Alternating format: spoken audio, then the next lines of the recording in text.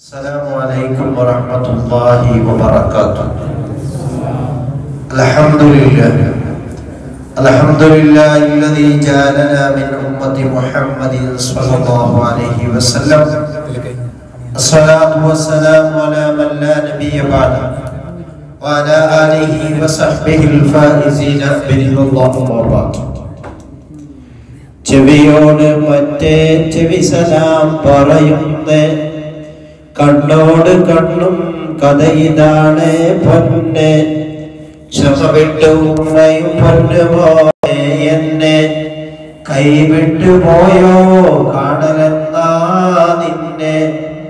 അരുമക്കിടാങ്ങൾ വാപ്പയെ വിളിക്കുന്നേ.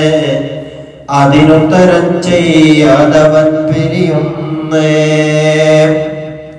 ഇരിക്കുന്നവര് എത്തിക്കാഫിന്റെ നീയത്ത് വെച്ചിരിക്കുക. അള്ളാഹു കബൂലാക്കട്ടെ.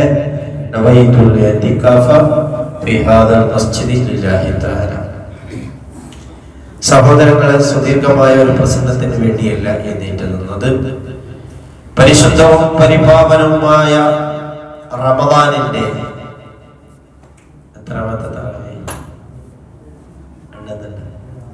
ഏഴ് അല്ലെ? അള്ളാഹു കബൂലാക്കട്ടെ. നമ്മൾ ദുആ ചെയ്തിരുന്നത് റബ്ബന തഖബ്ബൽ മിന്ന സ്വലാത്തന വസിയാമന വഖിയാമന പറഞ്ഞത്? അള്ളാഹുവേ എന്റെ നിസ്കാരം എന്റെ നോമ്പ് എന്റെ എല്ലാ കർമ്മങ്ങളും നീ കബൂലാക്കണേ എന്നാണ്. പരിശുദ്ധവും പരിപാവനവുമായ റമദാനിന്റെ മാഹാത്മ്യം എന്ന് പറയുന്നത് അത് വർണാതീതമാണ്. പറഞ്ഞ് അവസാനിപ്പിക്കാൻ പറ്റാത്തതാണ് കാരണം റമദാൻ എന്ന് പറയുന്നത് നമ്മളിലേക്ക് ഇറങ്ങി വന്ന ഒരു അതിഥിയാണ് പരിശുദ്ധമായ റമദാൻ ഒരു അതിഥിയാണ് റജബ് മാസം നമ്മളിലേക്ക് കടന്നു വന്നപ്പോ നാം എല്ലാവരും ദുവാ ചെയ്തു എന്ത് اللهم بارك لنا في رجب وشعبان وبلغنا رمضان അള്ളാഹുവേ നീ എനിക്ക് റജബിലും ഷാബാനിലും ബറക്കത്ത് ചെയ്യണേ. റമദാനി എനിക്ക് എത്തിച്ചു തരണേ അല്ലാ എന്ന്. അപ്പൊ നമ്മൾ ചോദിച്ചിട്ട് വാങ്ങിയതാണ് പരിശുദ്ധമായ റമദാൻ. ഓരോ മുസൽമാന്റെ വീട്ടിലേക്കും അള്ളാഹു അതിഥിയായിട്ട് ഇറക്കിയതാണ് വിശുദ്ധമായ റമദാനിനെ. നമ്മളുടെ വീട്ടിലേക്ക് ഒരു വന്നാൽ ആതിഥേയത്വം സ്വീകരിച്ചിട്ട് നമ്മൾ അവർക്ക് പോരായ്മകൾ വരാത്ത രൂപത്തിൽ എത്രമാത്രം സൽക്കരിക്കുമോ അത്രമാത്രം സൽക്കരിക്കേണ്ടതാണ് വിശുദ്ധമായ റമദാൻ. കാരണം അള്ളാഹുവിന്റെ റസൂൽ സല്ലല്ലാഹു അലൈഹി വസല്ലമ തങ്ങൾ ഒരു ഹദീസിലൂടെ പറയുന്നു സഹാബ നാളെ ആഖിറത്തിലെത്തുമ്പോ എന്റെ സമൂഹത്തിൽപ്പെട്ട ഒരു കൂട്ടം ആളുകൾ എന്റെ ഉമ്മത്തിമാർ സ്വർഗത്തിൽ അവർ പറക്കുകയാണ്. അവർ സ്വർഗത്തിന്റെ മുകളിലൂടെ പറക്കുന്നു. അവർക്കാണെങ്കിലോ പക്ഷിയുടെ ചിറകിന് പോലോത്ത ചിറകുകളുണ്ട് സ്വഹാബ. എന്നിട്ട് അവ സ്വർഗത്തെ കാക്കുന്ന മലക്ക് ചോദിക്കും ആ ജനങ്ങളോട് ചോദിക്കും നിങ്ങൾ ഹിസാബ് കഴിഞ്ഞവരാണോ? പറയും ഞങ്ങൾ ഹിസാബ് കഴിഞ്ഞിട്ടില്ല. നിങ്ങൾ സുറാത്ത് പാലം കണ്ടിട്ടുണ്ടോ? ഇല്ല ഞങ്ങൾ സുറാത്ത് പാലം കടന്നു വന്നവരില്ല. ഭീകരവും വിഭത്സകരവുമായ നരകത്തിന്റെ മുകളിലൂടെ അവർ നടന്നു വന്നവരാണോ എന്ന് ചോദിക്കുമ്പോ അവർ പറയുന്നു ഞങ്ങൾ അങ്ങനെ വരുന്ന വന്നവരല്ല. പിന്നെയോ നിങ്ങൾ എങ്ങനെയാണ് ഇത്രമാത്രം വലിയ സ്ഥാനത്തെത്തി? എന്ന് ചോദിക്കുമ്പോ ആ മനുഷ്യന്മാർ ആ മുഹമ്മദ് നബിയുടെ ഉമ്മത്തിമാര് പറയുന്നു അബദിനല്ലാഹ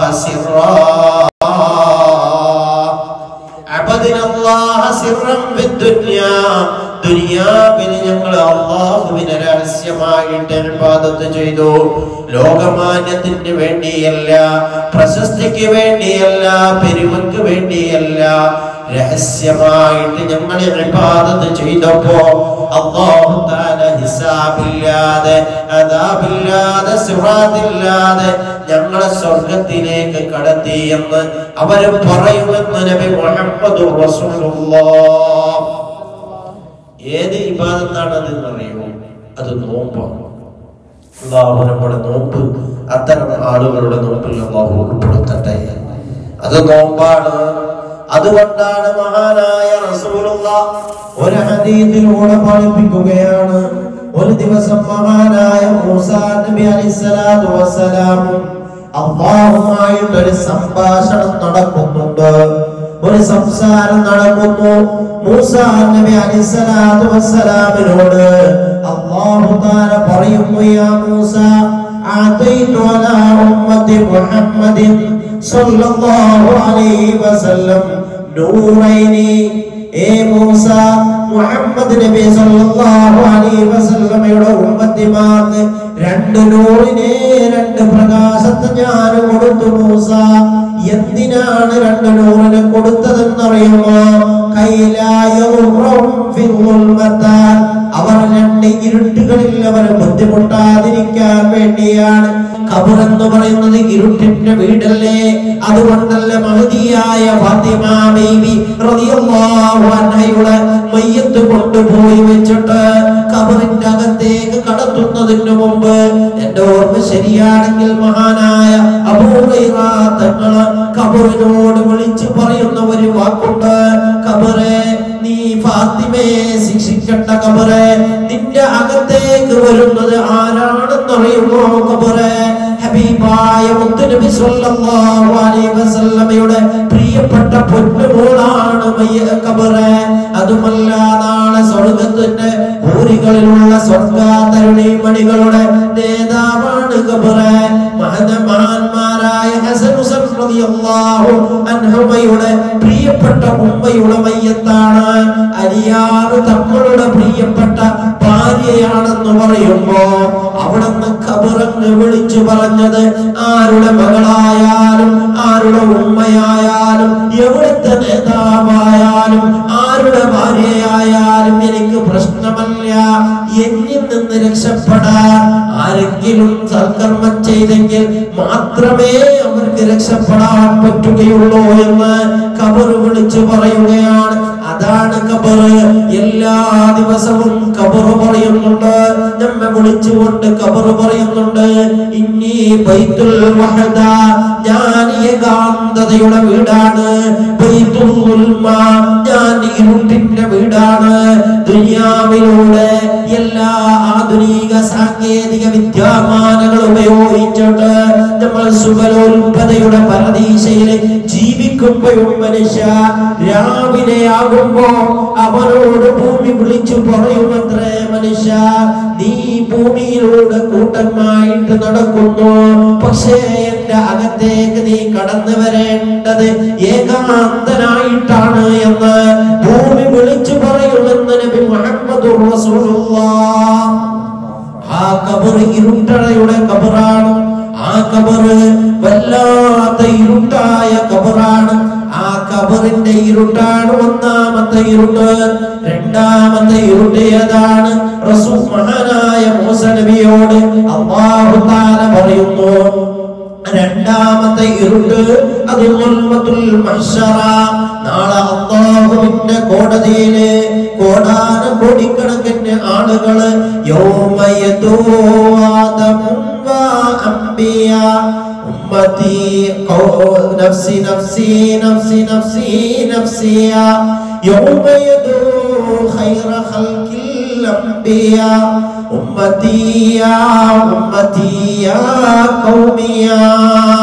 ഒരു ലക്ഷത്തി ചില്ലാനം അമ്പിയാക്കൾ നാളെ അള്ളാഹുവിന്റെ കോടതിയിൽ പോയിട്ട് പാവികളായ അവരുടെ സമുദായം പോയിട്ട് നബിയെ ഒന്ന് ഷഫാത്ത് ചെയ്യുമോ നബിയെ? എന്ന് അബുന അബുൽ ബഷർ ആദൻ നബി അലിസ്സലാത്തു വസ്സലാം മുതൽ ഈസ നബി അലിസ്സലാത്തു വസ്സലാം വരെയുള്ളവരോട് പറയുമ്പോ ഓരോ ഒഴിവ് പറഞ്ഞിട്ട് അവർ പിന്മാറുമ്പോ അവിടെ നമ്മെ കൈപിടിക്കാൻ നമ്മെ രക്ഷപ്പെടുത്താൻ നമ്മുടെ ഫരിയാത് കേൾക്കാൻ നമ്മുടെ വേവലാതി കേൾക്കാൻ നമ്മളെ സാന്ത്വനം നൽകാൻ ഒരേ ഒരു നേതാവ് അത് മുഹ്ബിറേ സ്വാദിഖ് മുഹമ്മദ് മുസ്തഫ. ആ മത്സര സാക്ഷാൽ അല്ലാഹു സുബ്ഹാനഹു തആല നേരിട്ടിട്ട് ചോദ്യം ചെയ്യുന്ന മഷറയുണ്ടല്ലോ.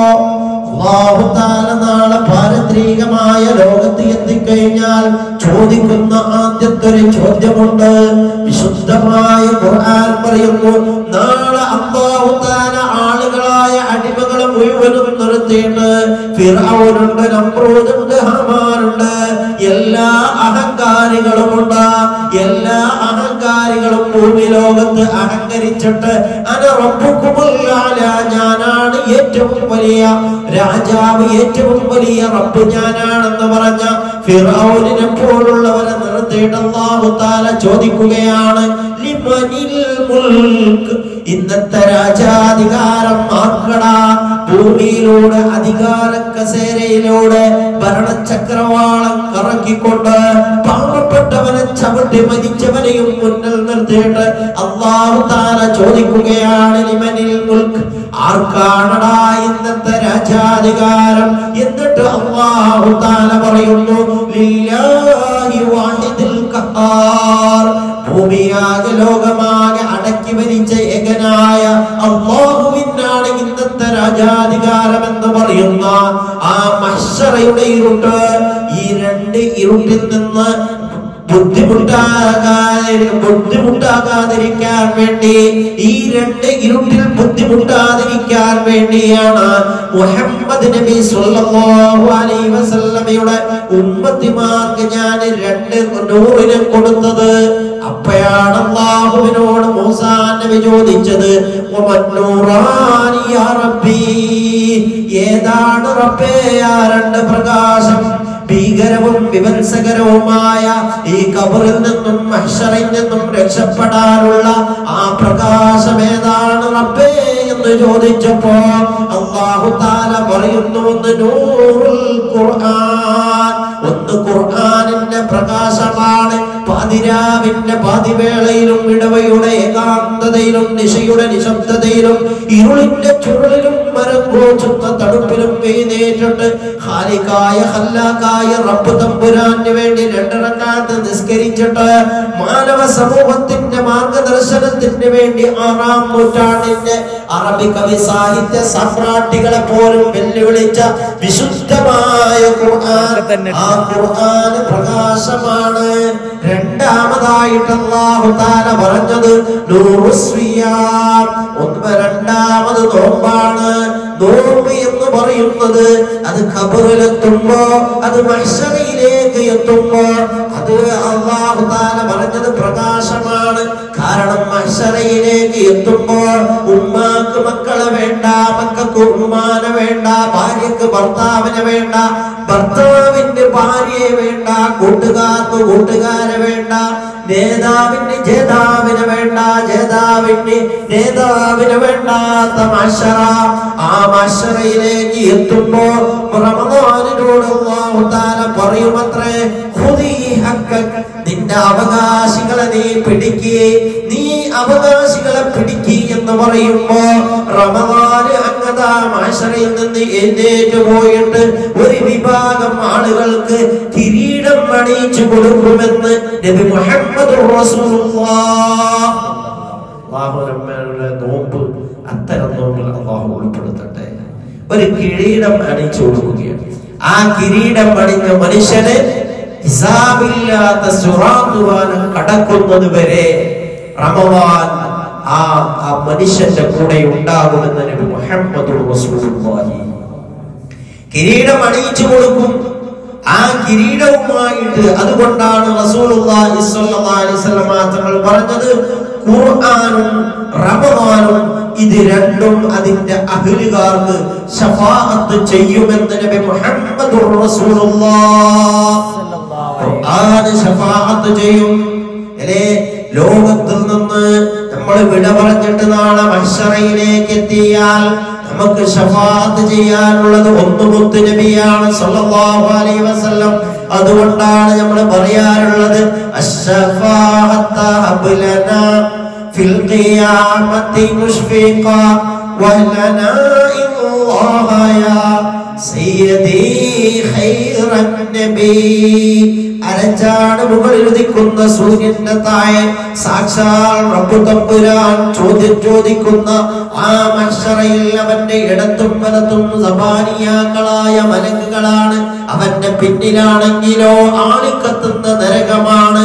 മുന്നിലാണെങ്കിലോ അബ്ബാഹുതാര താല കോപിതനായിട്ട് നിന്നിട്ട് ഓരോ ചോദ്യവും ചോദിക്കുകയാണ്. ഇങ്ങനെയുള്ളതായ മത്സറ ആ മത്സരയിൽ രക്ഷപ്പെടാൻ നമുക്ക് റമദാന് കാരണമാകും. അള്ളാഹു തൗഫീക്ക് നൽകട്ടെ. പിന്നെ ഞാൻ പറഞ്ഞത് നേരെ കബറിൽ നിന്നാണ്. ഒരു സംഭവം മാത്രം പറഞ്ഞ് ഞാൻ എന്റെ വാക്കിന്റെ വിരാമം കുറിക്കുകയാണ്. കബറ് അള്ളാഹുവിന്റെ റസൂൽ സല്ലല്ലാഹു അലൈഹി വസല്ലമ തങ്ങൾ പറഞ്ഞു ഒരു മനുഷ്യനെ കബറിൽ നിന്ന് കബറിൽ കൊണ്ടുപോയി വെച്ചാൽ കബറ് രണ്ട് ഭാഗത്ത് നിന്ന് ഇടുക്കുമെന്ന് നബി മുഹമ്മദ്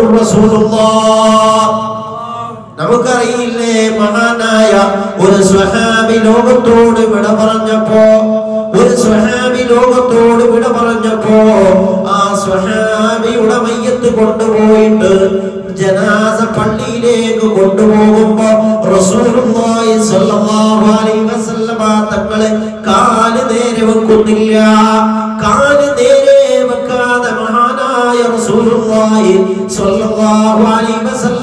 നടക്കുന്നത് കാണുമ്പോ സച്ചരിതരായ സ്വഹാബത്ത് ചോദിച്ചു എന്തേ നബിയെ ഇങ്ങനെ നടക്കുന്നത്? എന്തേ നബിയെ നേരെ നടക്കാത്തതെന്ന് ചോദിക്കുമ്പോ റസൂലുള്ള പറഞ്ഞു സഹാബാ സാദിന്റെ മയ്യത്തിനെ അനുഗമിച്ചിട്ട് എഴുപതിനായിരം മലക്കുകൾ വന്നിട്ടുണ്ട് സ്വഹാബ. ആ മലക്കുകളുടെ തിക്ക് കാരണത്താൽ ഈ സാദിനെ സ്വീകരിക്കുന്ന മാലാകമാരുടെ തിരക്ക് കാരണത്താൽ നേരെ നടക്കാൻ കഴിയുന്നില്ല എത്രത്തോളം മഹാനായ സാദ് റസൂലുള്ള പറഞ്ഞു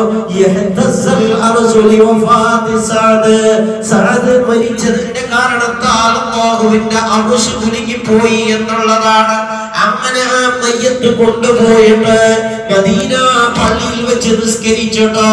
ആ മയ്യത്തിനെ കബറടക്കിയിട്ട് കുറച്ച് നിൽക്കുമ്പോ കബറിൽ നിന്നൊരു ശബ്ദം കേൾക്കുന്നു. റസൂലുള്ള ചോദിച്ചു ഈ ശബ്ദം എന്താണെന്ന് അറിഞ്ഞോ സഹബ ആ സമയത്ത് അള്ളാഹുവിന്റെ റസൂലിനോട് സ്വഹാബത്ത് പറഞ്ഞു റസൂലു ആലം. അള്ളാഹും റസൂലിനും അറിയാം നിങ്ങൾക്കറിയില്ല. അപ്പൊ റസൂലുള്ള പറയുന്നു ഏത് നാവ് കൊണ്ടാണോ റസൂലുള്ള പറഞ്ഞത്? സഅദിന്റെ മരണത്തിൽ എന്ന് പറഞ്ഞ ജനാസ മലക്കുകൾ ഉണ്ടെന്ന് പറഞ്ഞ റസൂലുള്ള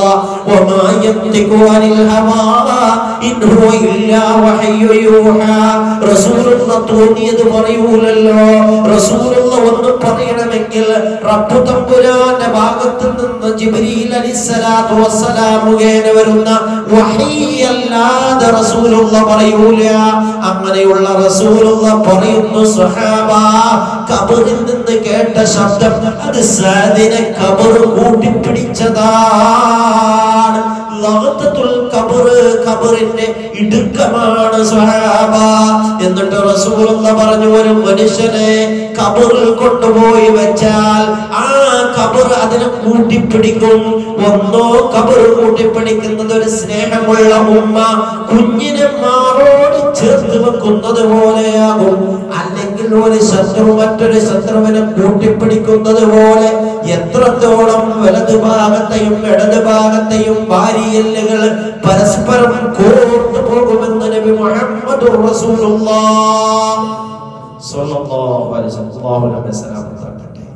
ഈ കബറിൽ നിന്ന് രക്ഷപ്പെടാനും അതേപോലെ മഹ്സറിൽ നിന്ന് രക്ഷപ്പെടാനുമുള്ള രണ്ട് നൂറുകളാണ് ഒന്ന് ഖുർആൻ പിന്നൊന്ന്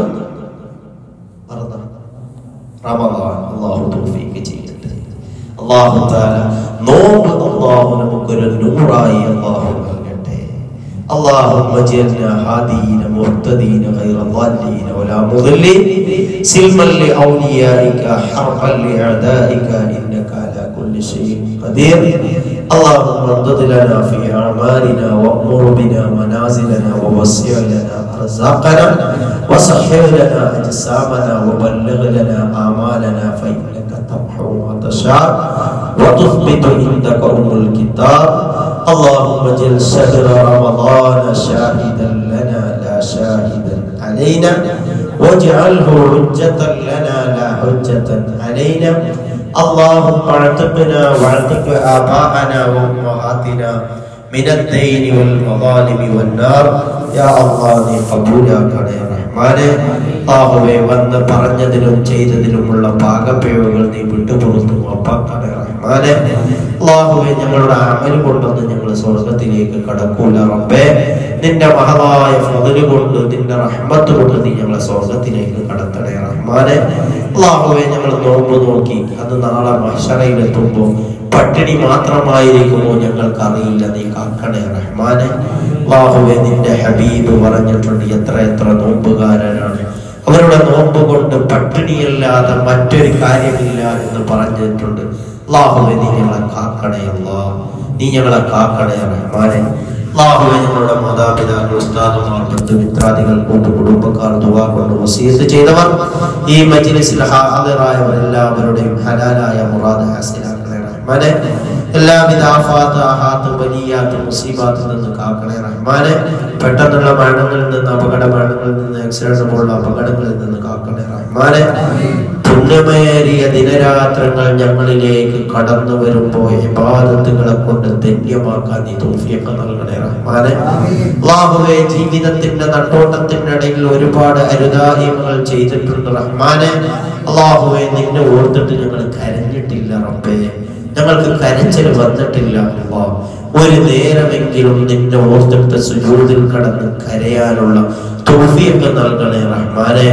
ലവാ എന്ന് പറയുന്ന നരകത്തെ കെടുത്താൻ പോലും അടിമയുടെ കണ്ണുനീര് കാരണമാകുമെന്ന് നിന്റെ ഹബീബ് സ്വല്ലല്ലാഹു മാത്രം പഠിപ്പിച്ചിട്ടുണ്ട് നീ ഞങ്ങളെ അത്തരത്തിലാക്കണേ റഹ്മാനെ ഇസ്സത്തിലാക്കണേ അല്ലാ ദില്ലത്തിലാക്കല്ലേ അല്ലാ اللهم اللهم انصرنا يا خير الناصرين اللهم افتح لنا يا خير الفاتحين اللهم ارزقنا يا خير الرازقين اللهم آمنا في أوطاننا اللهم آمنا في أوطاننا ഇത് ആത്മാർത്ഥമായിട്ട് നമ്മൾ ആമീൻ പറയേണ്ടതാണ് കാരണം ഇന്ന് പല ബില്ലുകളും C A N R C പോലുള്ള ബില്ലുകൾ നമ്മളെക്കെതിരെ വരികയാണ് അള്ളാഹു താല ഫാസിസ്റ്റ് ദുർഭൂതങ്ങളെ അള്ളാഹു ഭരണ കേന്ദ്രങ്ങളിൽ നിന്ന് അള്ളാഹു തായറക്കട്ടെ اللهم آمنا في أوطاننا اللهم آمنا في أوطاننا. اللهم آمنا في أوطاننا. وول أمورنا خيارنا ولا تول أمورنا شرارنا حتى أقودنا إلى الخير من هو خير منا. اللهم أعز الإسلام والمسلمين. وأذل الشرك والمشركين. وأهلك الكفرة والكافرين. اللهم دمر أعداءنا وأعداءك وأعداء الدين يا رب العالمين. اللهم شدد شملهم وفرق جمعهم وقل عددهم. اللهم اجعل الدائرة عليهم. اللهم سلهم مدد الإمهال اللهم لا تبلغهم الآمال. بمحض فضلك وجودك يا أكرم الأكرمين ويا غياث المستغيثين. بسم الله بابنا تبارك إيطاننا ياسين سقفنا حامين عين سين قاف حمايتنا أقفنا هم العدا ولقهم الردى واجعلهم لكل حبيب فدا وسلط اللهم عليهم عاجل النقم في اليوم وغدا يا رب العالمين. ربنا تقبل منا إنك أنت السميع العليم وتب علينا إنك أنت التواب الرحيم. എല്ലാവരും ഈ വിനീതന് വേണ്ടി കുടുംബത്തിന് വേണ്ടി ദുവാ ചെയ്യണം. വസീയത്ത് ചെയ്ത്. അസ്സലാമു അലൈക്കും റഹ്മത്തുള്ളാഹി വബറകാതുഹു.